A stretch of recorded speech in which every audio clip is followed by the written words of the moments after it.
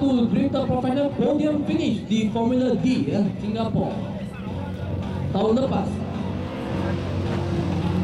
Ya, bagaimana buat Johan kejar oleh Mr. K.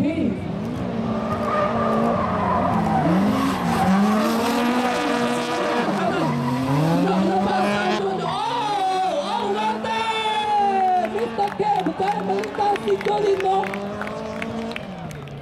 Mr. K